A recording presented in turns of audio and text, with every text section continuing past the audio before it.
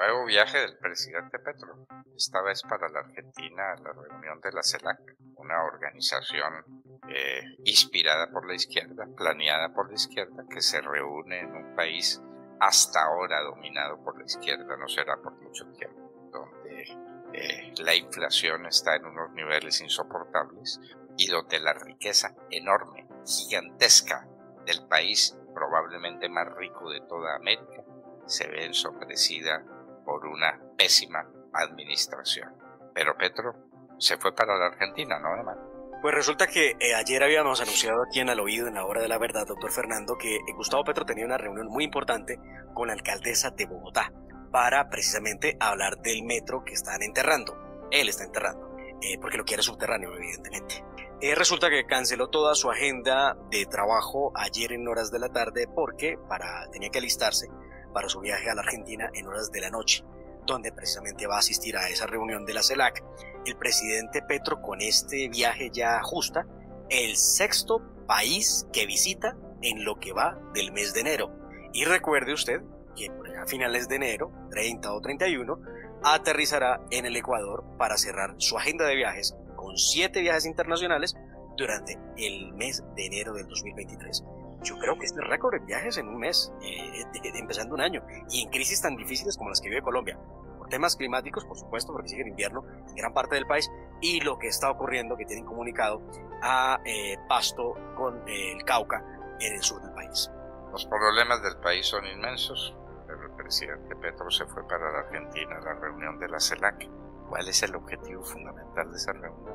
¿Qué es lo que se va a discutir en ella que despierta tan vivo interés en el presidente Petro como para coger un avión. Cuesta mucho, cuesta mucho ir a Buenos Aires. No se les olvide que son cinco y media o seis horas de vuelo directo entre Bogotá y Buenos Aires. Pero cuéntenos qué hay en la CELAC. Pues lo que tiene previsto, por lo menos la agenda, doctor Fernando, que arranca a las 8 de la mañana, en una hora y 15 minutos, arranca la agenda del presidente Petro en la Argentina, es eh, reunirse con diferentes eh, presidentes, no nos han dicho quiénes son los presidentes eh, que, que, se va a reunir él, para hablar, por supuesto, de cambio climático y de paz total. debe él desocuparse muy temprano de esta reunión para regresar hoy mismo a Colombia. ¿Cómo? Sí, sí, sí, sí, sí. De verdad que si, si es para hacer un viaje, doctor Fernando, de tres o cuatro horas, no, no, hagan eso. O sea, Perdón, entre cinco y media y seis. Me he equivocado. Bogotá, Buenos Aires toma entre cinco y media y seis horas. Ah, no, no, no. Digo yo la visita, no, no. El tiempo que. Ah, la visita. Sí, sí, sí. El tiempo que va a durar en tierra. Pues va a durar tres veces más en un avión que, que, que lo que va a durar en tierra en la Argentina. Solo pero, pero pero la, la CELAC no es para que se reúnan los presidentes los unos con los otros, porque esa reunión la pueden hacer en sus sedes sin semejante traslado, sin semejante eh, despliegue de energías y de dinero para hacer la reunión. ¿Cuándo es la reunión de la CELAC? La reunión como la reunión. ¿Cuándo se reúnen todos los presidentes de la CELAC y a discutir qué demás? Pues mire, en la agenda lo que encuentro, y esto va por parte de Colombia, doctor Fernando, porque viajó el canciller Álvaro Leiva, eh, por supuesto, y también va el canciller de Guatemala, Mario Búcaro, eh, van a estar hoy precisamente en esa reunión, hoy es martes 24, para discutir la crisis diplomática eh, que se generó entre Colombia y Guatemala por la solicitud o por la investigación que adelanta la justicia de Guatemala en contra del ministro de Defensa, Iván Velázquez es lo que han dicho en la agenda que va a hacer el gobierno nacional por ahora en la Argentina. No sabemos cuáles son los encuentros que ya tiene en la agenda el señor presidente, porque vea usted, para sorpresa mía, eh, esta madrugada muy temprano, cuando eh, vi el, viaje del presidente, intenté ingresar a la agenda de presidencia y, vaya complejo que sí es. Todo muy escondido, todo muy guardado, pero no podemos ver, hombre, cuál es la agenda y con quién se va a encontrar el presidente. No, no hay manera encuentro unos detalles en Cancillería, que es este que le acabo de mencionar, pero no encuentro exactamente qué es lo que va a hacer el presidente Gustavo Petro con quiénes se va a reunir en ese encuentro en la CELAC.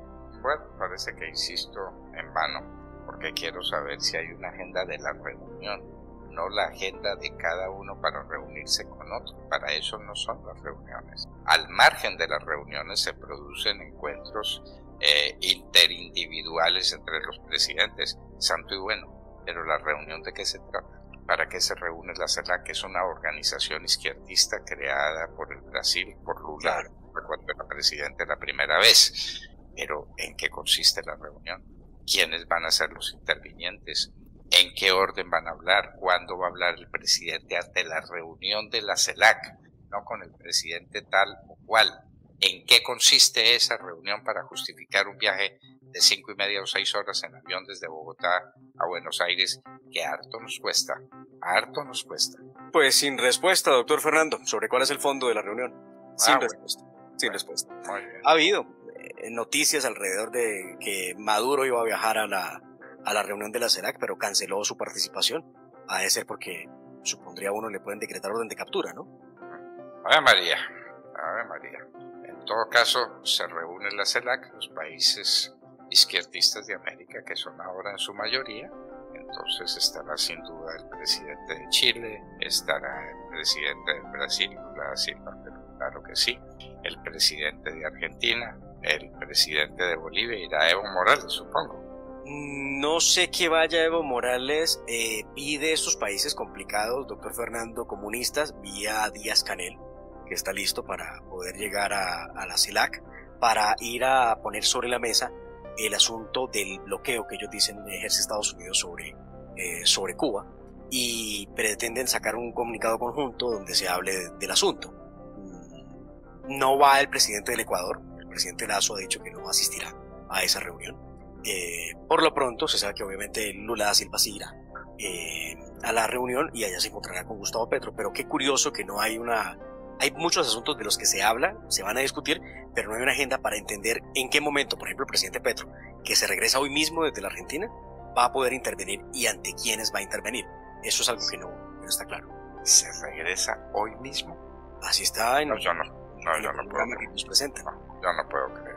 Vamos a ver. Bueno, muy bien. Sí, pero, pero un gasto de dinero increíble, o sea, lo pudo haber hecho con una llamada telefónica para ir y volver el mismo día pues con varias llamadas telefónicas, para eso está el Internet, para eso están los medios de comunicación, para que se va hasta Buenos Aires gastando seis horas de avión, seis horas de combustible, combustible que tampoco le gusta al presidente Petro. Bueno, llegó. Un, detalle. Eh, nos cuentan que una de las reuniones clave que tenía el presidente Gustavo Petro en la Argentina era un encuentro con Nicolás Maduro. Pero pues hace un momento les dije a ustedes que él canceló ese viaje. Eh, eh, Petro va a tener eh, lo que le han dicho a los medios de comunicación, encuentros bilaterales con mandatarios y organismos internacionales. Asistirá a la apertura de la cumbre por parte del presidente argentino Alberto Fernández, que será en el Sheraton de Buenos Aires. También fue, pues ya se lo dije a usted, canciller de Colombia, y dice que va a hacer una reunión con el presidente del Consejo de Europa, va a haber una reunión con un ex senador estadounidense, Chris Dodd, que es asesor presidencial para las especial para las Américas, y esas son las reuniones que va a tener también con el presidente plurinacional de Bolivia, Luis Arce, y con el director de Organizaciones Unidas de las Naciones Unidas eh, para la Alimentación y la Agricultura, Hu Dong-yu. Esa es la agenda que encuentro ahora mismo del presidente Petro en la Argentina. Bueno, lo que no encontramos es la agenda de la reunión. En fin, todo sea.